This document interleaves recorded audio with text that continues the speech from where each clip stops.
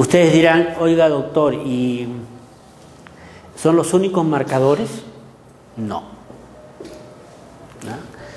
Eh, en mamíferos es común hacer la prueba en ratones, pero también podríamos mirar la tasa de aparición de malformaciones en poblaciones de, animalitos en zonas expuestas. Por ejemplo, en una zona en, en Panamá se monitorea la presencia de agentes tóxicos y teratogénicos por el número de ranitas, ranitas silvestres que se encuentran con malformaciones. ¿Sí? Por ejemplo, hay, un estudio que mira eh, el número de dedos de las ranitas en ciertas zonas de Panamá.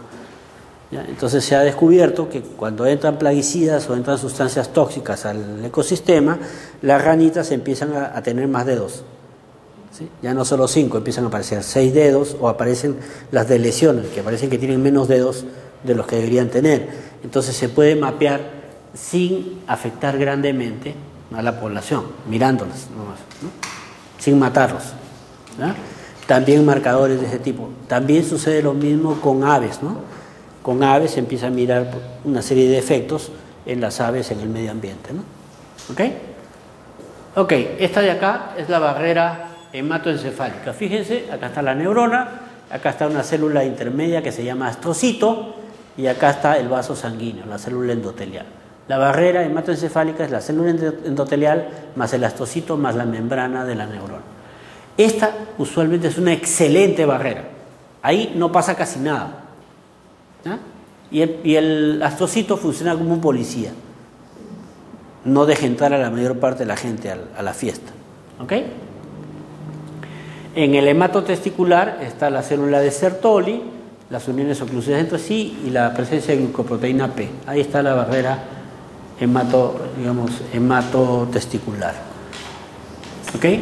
Desde el vaso sanguíneo para que llegue a los espermatozoides hay un montón de, de capas de células que impiden que las drogas lleguen hasta, los, hasta las células germinales de los espermatozoides.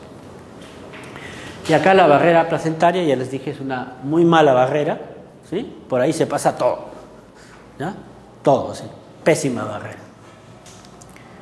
Y este es un ejemplo típico de una de un eh, efecto teratógeno. Allá por los años 60, eh, un laboratorio muy conocido produjo un producto que se llama talidomida y este lo produjo como un medicamento para las náuseas en el embarazo. Miren, las náuseas en el embarazo. Entonces un montón de embarazadas tomaron esto en el primer trimestre. Resulta que los estudios no habían sido suficientes y los estudios que daban en animales decían que se podía metabolizar, ¿no? Se podía metabolizar. Lo extrapolaron al humano y resulta que el humano no tiene la enzima apropiada para, eh, para digamos, eh, metabolizar el enantiómero de la molécula talidomida. Y resultó que lo que empezaron a aparecer son defectos del desarrollo teratogénicos. Y el efecto es muy curioso, ¿no? Las manos están pegadas a los hombros. Y si uno mirara las piernas, parecería una foquita. Por esto, este fenómeno se llama focomelia. Ya los, eh, los, chicos de esa época, que hoy día ya tienen más de 60 años, el laboratorio tuvo que pagar una millonada en reparaciones a estos chicos que sobrevivieron a este problema, que era un montón en el mundo, y por supuesto, eso es un caso clásico de teratogenia. Pero esto podría pasar con un montón de cosas, un montón de drogas. Veamos un poquito la eliminación.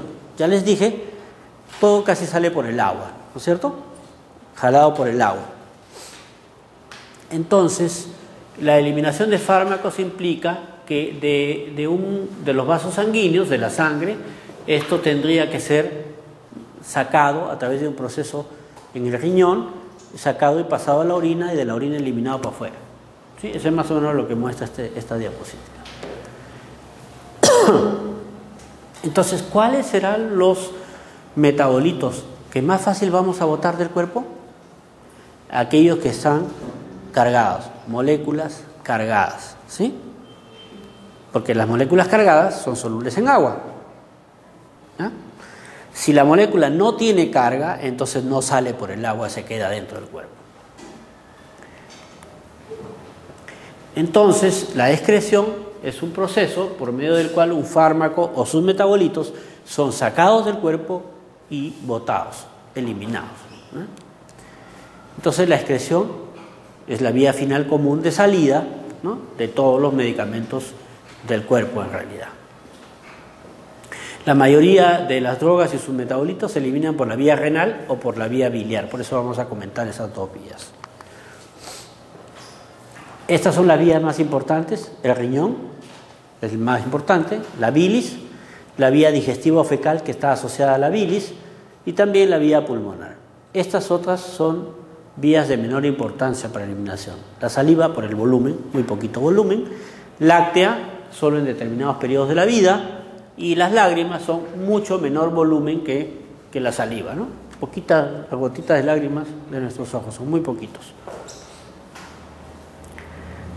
Bueno, los factores que modifican la eliminación son aquellos que afectan al desarrollo de la madurez del, riñón, ¿no? En principio la edad, aquí hablan de los prematuros, hay disminución de la capacidad de filtrar el riñón, de la secreción en el riñón, y los ancianos, como todo se va afectando y se va achicando, entonces empiezan a aparecer las fallas multisistémicas en el anciano. ¿no? ¿Qué pasa en el embarazo? en el embarazo ustedes ya han visto, ¿no? La mujer gana 15 a 20 litros de agua durante todo el embarazo. Eso se traduce en el aumento de peso, en la hinchazón de la mujer y todo lo demás, ¿no? Entonces, cuando hay más agua en el cuerpo, hay más agua dentro de los vasos sanguíneos aumenta la presión, la presión la presión corporal y se empuja a salir más sangre, más, eh, a filtrarse más líquido por el riñón. Entonces, en el caso de la mujer, durante el embarazo, la filtración del riñón aumenta. Eh, un factor que, elimina, que altera la eliminación es definitivamente cuando el riñón, que es el órgano principal de eliminación, se, se enferma. ¿no? O también cuando el hígado falla el hígado hace metabolismo de muchas drogas como mecanismo de eliminación también. Entonces, miremos rapidito el riñón. Para hablar del riñón hay que hablar de esto que se llama nefrón. Esta es la nefrona, la unidad funcional del riñón. Es una unidad anatómica y funcional. ¿Qué cosa aparece en el riñón? Fíjense, el riñón tiene la corteza, acá, y tiene la médula del riñón, la parte medular. Entonces, este, esta estructura está graficada aquí. ¿Y cómo es esta estructura? Esta estructura es, eh, en principio, esta es una estructura que es una arteria. Aquí lo que tenemos es una arteriola que entra a esto que se llama la cápsula de Bowman, que es el glomérulo, y se enrolla muchísimas veces esta arteriola se enrolla aquí en gran cantidad. Pero esta arteriola, desde etapas prematuras de la vida, se cubre con unas células especiales que les llamamos células podocitarias, o sea, podo de pie, células con un cuerpo determinado pero unas grandes patas, ¿sí? unas células que son principalmente patas. Y estas patas funcionan como un peine, son como peines. Entonces imaginan a una célula que tiene sus patitas así y a otra célula que tiene sus otras patitas acá y que se cubren unas a las otras y dejan unos huequitos. En realidad lo que está apareciendo ahí es algo así como una coladera. ¿Se acuerdan de la coladera que usamos para tamizar cuando hacemos tortas en la casa del azúcar? ¿Sí? Los grumos grandes se quedan arriba y lo que es chiquitito impalpable se pasa, ¿no es cierto? Lo que es más chiquito que el huequito se pasa. Ese es el principio del glomérulo. El glomérulo, con estas células podocitarias encima de las arteriolas, se convierte en un tamiz, ¿sí? en una coladera.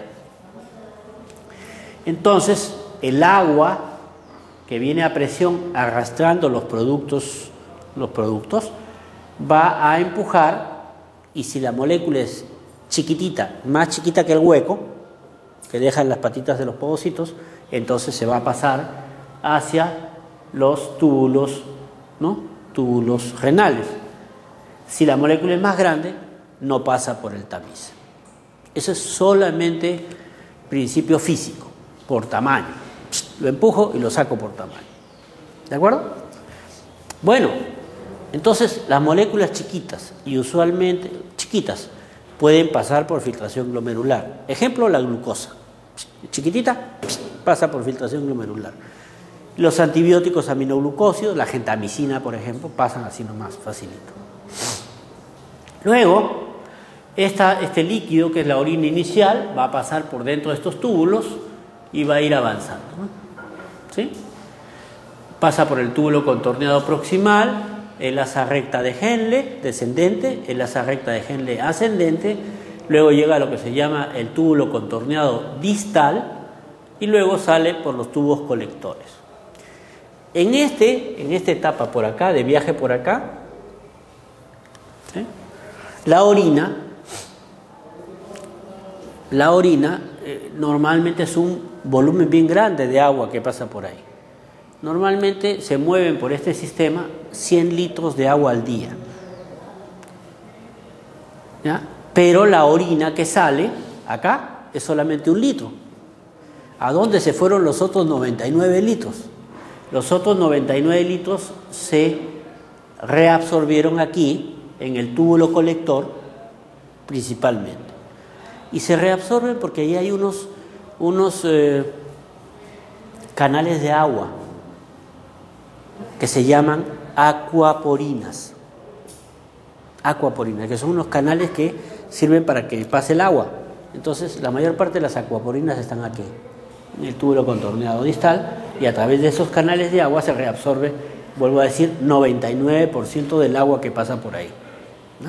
Y al final se forma orina solamente un litro. Entonces, ya tenemos un mecanismo de excreción que es la filtración glomerular, la filtración a través del glomérulo. ¿Cuál es el otro mecanismo que tenemos para, para eliminación de fármacos? El otro mecanismo es un mecanismo bien curioso. Se llama secreción tubular. ¿Ah? ¿Qué implica la secreción? Que una molécula que está circulando en sangre, acá por estas venitas que están acá al costado, del, del asa recta de Henle, descendente, eh, que de aquí la molécula va a pasar acá a la luz del túbulo. Entonces va a tener que salir del vaso sanguíneo, atravesar una célula acá que se llama célula tubular renal y llegar a la luz, ¿no? a la luz del tubo, del túbulo, donde se está acumulando la orina. Entonces estoy jalando una molécula de la sangre hacia la orina. Pero como esas moléculas son, son grandes, más grandes que los 40 angstrom, que es el diámetro del, huequito en el, glomérulo, o tienen carga, entonces necesitan ¿no? ir, contra, ir, contra la corriente, o sea, ir contra la gradiente de, de carga e ir contra la gradiente de concentración. Entonces se necesita un mecanismo activo, un mecanismo que gaste energía. Ese mecanismo se llama secreción tubular. Y este mecanismo lo que tiene es un transportador, ¿ah? o sea, una molécula que agarre, una, proteína que agarre la molécula de la, de la sangre y se la lleve ¿no? hasta la orina. Ese es un transportador. Es como un carrito, como un cochecito. Agarra la molécula y se la lleva de un lado de la célula al otro lado de la célula y luego la bota. Curiosamente, hay dos tipos de transportadores en la célula tubular renal, dos, para la secreción. Uno que agarra moléculas con carga positiva y otro que agarra moléculas con carga negativa. ¿Sí? Fíjense que es medio indistinto. Basta que sea una molécula que esté en contenido alto en la, sangre con carga positiva, entonces se sube al carrito, al carrito que se llama transportador aniónico para los de carga positiva y lo bota para el otro lado. Y el otro es el transportador catiónico. Agarra moléculas cargadas negativamente y las traslada al otro lado y los pone en la orina. Entonces, ese es el fenómeno de secreción. Pero cualquier transportador, ¿no? como cualquier vehículo, puede ser saturable por competencia. Si yo tengo una molécula que es más, más afín, esa se va a meter primero al transportador y no va a dejar salir al otro. ¿Sí? Compiten por el transportador. Y esto es usado por algunos pillos para hacer doping en el deporte. El transportador, la molécula más afín al transportador de carga positiva, al transportador aniónico, se llama provenecid. Es una molécula que no la usamos para nada en medicina. Pero cuando le pones eso, lo que sucede es que ese es el que ocupa el receptor y pasa a la orina. Y no deja salir a las otras drogas que están en sangre. Imagínate que te has pegado una, una, pasteada, una coqueada. ¿eh? Se ha metido cocaína el deportista. O alguna molécula parecida. ¿sí? Entonces, si el pata toma provenecida al mismo tiempo, el provenecida es el que sale a través, usando el transportador, y la cocaína se quedó dentro de la sangre y no la puede detectar teóricamente en laboratorio. Pero hoy día ya está prohibido usar provenecid. O sea que si sale provenecid en la orina ya sabemos que se está ocultando algo.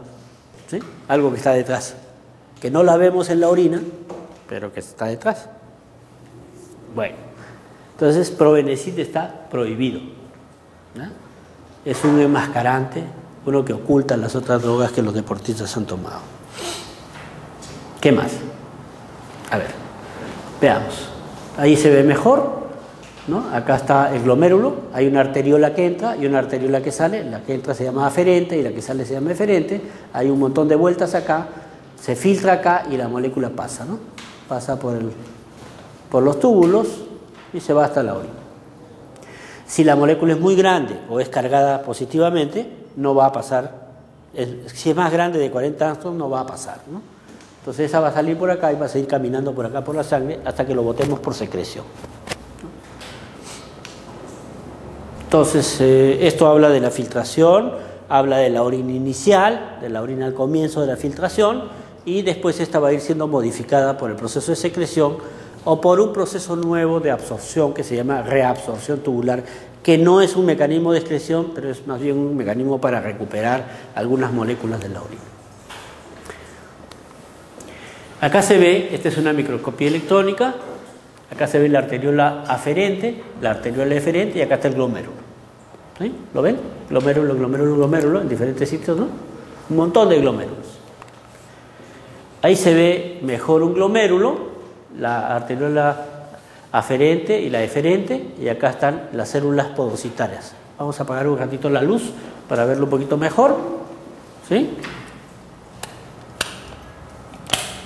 ¿La ven? Ahora sí se ve un poco mejor. Ven una célula, acá está el cuerpo de la célula con unas enormes patas que se superponen unas a otras, esa célula se llama podocito. Ok. Aquí se ve también, ahí están las células podocitarias, acá está el podocito con sus patitas que parecen un peine, ¿no? Y cuando se cruzan, forman un huequito, y ese huequito es de más o menos 40 armstrong de diámetro. O sea, moléculas que pasan, menos de 40 armstrong de diámetro. Moléculas que no pasan, mayores de 40 armstrong. Es como una, es como una coladera de la casa, ¿no? Igualito, ¿no? Acá se ve ya en otro corte, estas son las patitas del podocito y acá hay unos espacios. Las moléculas se pasan por acá, por filtración. de la luz capilar hacia la orina que está por acá. ¿Ok? Ahí se ve la célula podocitaria con sus patitas. ¿Ok? Bueno, entonces la filtración glomerular es el primer proceso de eliminación y sirve para moléculas chiquitas. ¿Ok? Estos son algunos ejemplos de, moléculas que pasan. Aminoglucósidos, vancomicinas, cefalosporinas, metotrexate, anfotericina, en fin, son moléculas muy chiquititas. Y la secreción, la secreción ya la conocemos, ya se las he comentado, que necesita transportadores, ¿no? Transportadores, aniónicos y catiónicos. Existen fármacos que se pueden pegar a los, subir a los, a los carritos y por lo tanto afectar la salida de otras moléculas, como les he estado comentando. El, el provenecid es el, ejemplo típico. ¿no? ¿Ok? Bueno, como la naturaleza es muy sabia, muchas de estas moléculas endógenas que uno puede, nuestro cuerpo puede eliminar por filtración porque son chiquitas, pues son valiosas para el cuerpo. ¿De acuerdo? El ejemplo típico es la glucosa.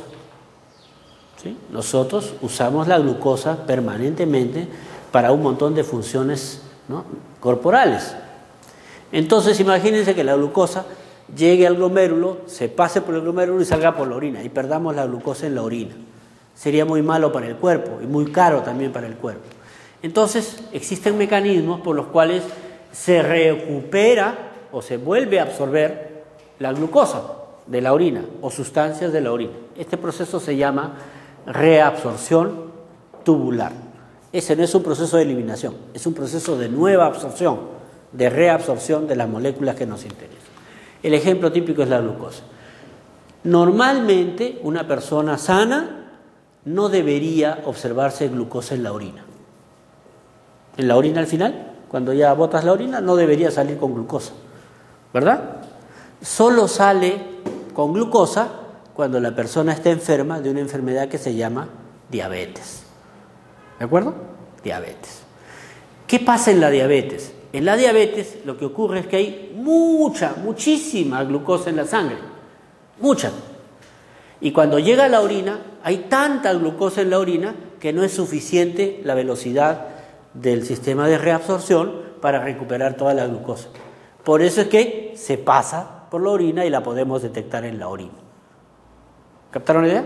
El diabético tiene tanta glucosa en sangre, se filtra en el glomérulo, sale un montón de glucosa en la orina, en la orina inicial, y ya no se puede, no nos alcanza el tiempo ni el número de, elementos del sistema de reabsorción para recuperar toda la glucosa. Por eso es que se va una parte por la orina y sale, sale positivo en la orina.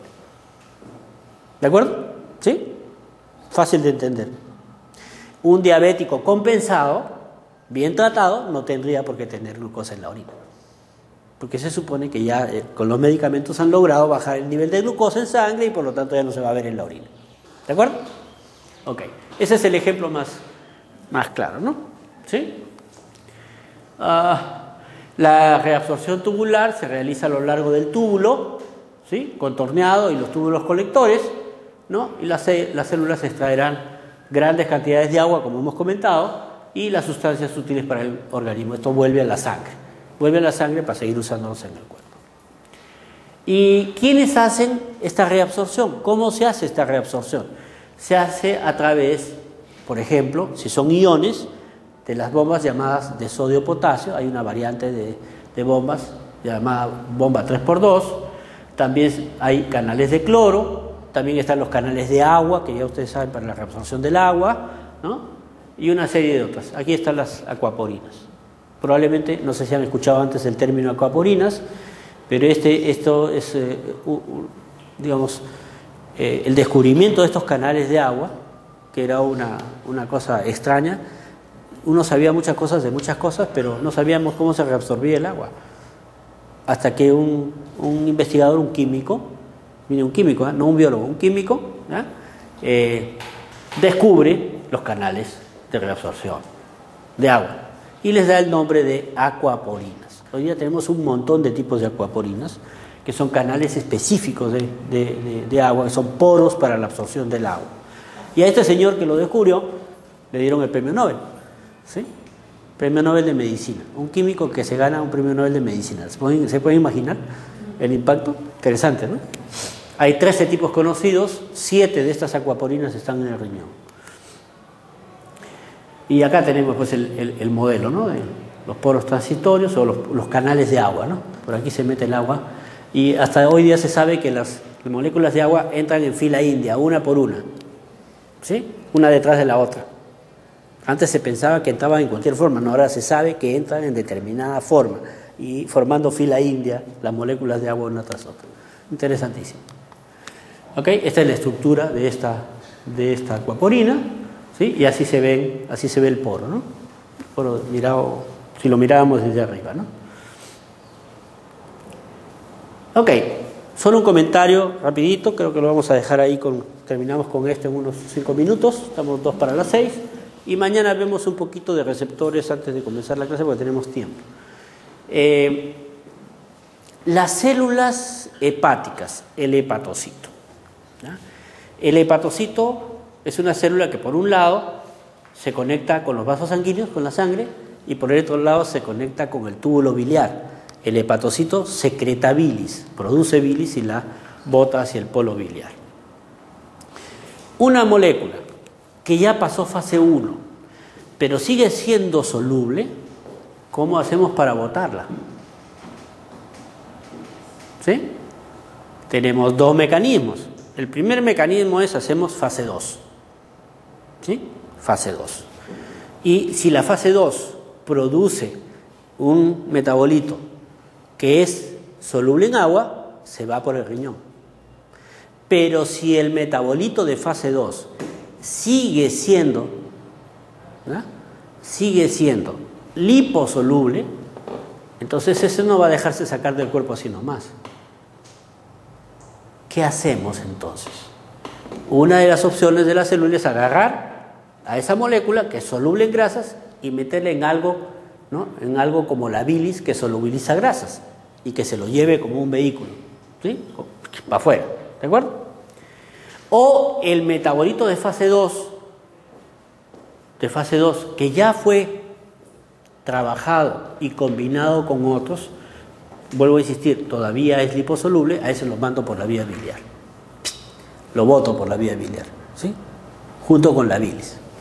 Hasta ahí está bacán, ya lo saqué aparentemente del cuerpo. Pero ¿qué pasa con este producto?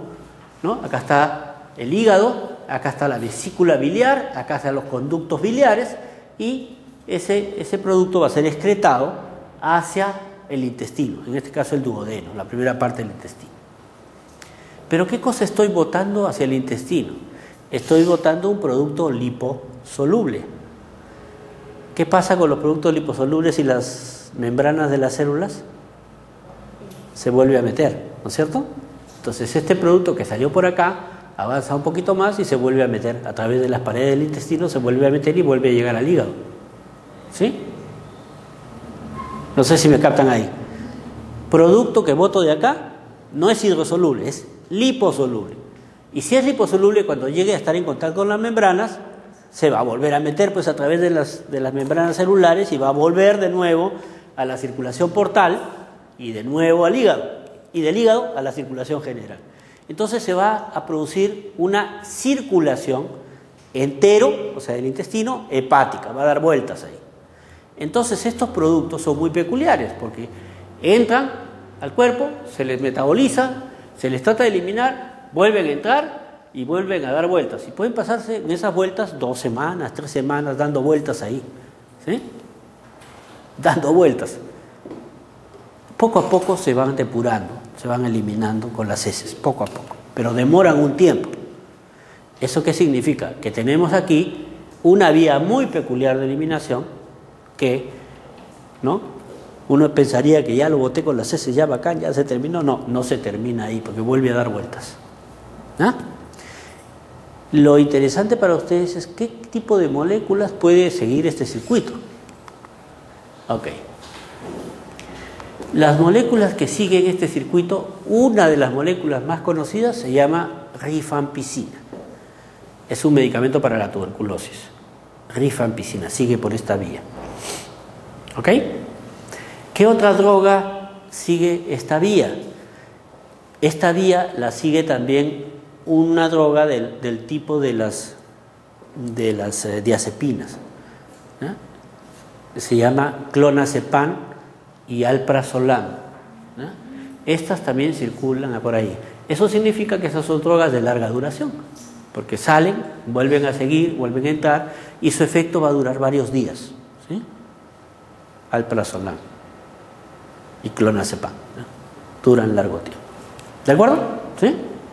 Y podríamos tener algunos otro ejemplo más, pero solamente para que tengan un chispazo de, cosas. ¿no? Por vía pulmonar salen tóxicos gaseosos, agentes volátiles, sale el etanol. Y aquí voy a hacer un comentario, chiquito.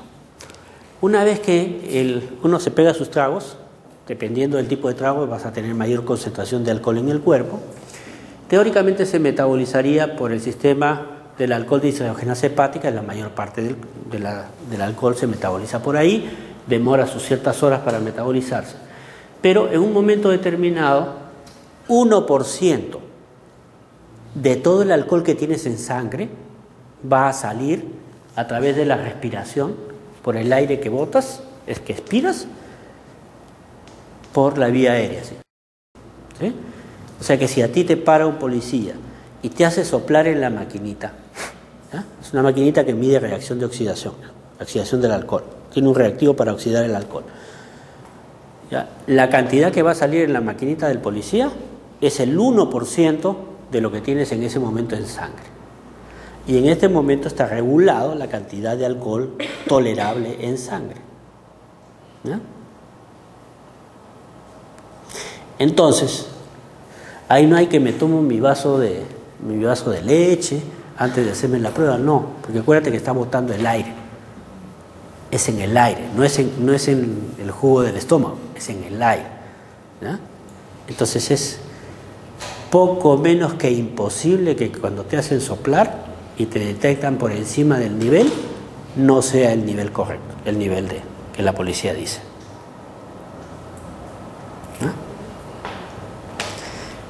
Volviendo al tema de los niveles. ¿Con cuánto de trago voy a alcanzar niveles superiores a los legalmente permitidos? ¿Tienen idea? Un vaso de whisky, entre uno y dos vasos de cerveza, una copa de vino, que puede dar positivo por encima del nivel, y ya, cualquier cantidad por encima de esto, ya ustedes saben, pues. La recomendación es, si vas a tomar, ¿sí? toma tu taxi. O sea, el amigo elegido, ¿no? O sea, uno que no toma para que los demás se diviertan, después se rotarán. ¿Ok? ¿Por qué es el tema del alcohol? ¿Por qué se limita el alcohol? Porque el que toma alcohol es más peligroso que el que no toma a la hora de la conducción de vehículos. ¿sí? porque se disminuyen los reflejos, te crees Superman, entras en ciertas cuestiones así de, carácter y de alegría y todo lo demás y terminas matando a otro, pues lo atropellas al otro, o te matas tú y todos los que van contigo. ¿sí? Entonces, ese es un poco el tema. Esa abogada que encontraron, ¿se acuerdan? ¿Sí? Que se peleó, gritó con los policías, no se quiso bajar del carro. Esa chica tenía adentro una botella de whisky completa una cantidad enorme de alcohol, ¿sí? que no lo iba a botar de su cuerpo por lo menos en tres días.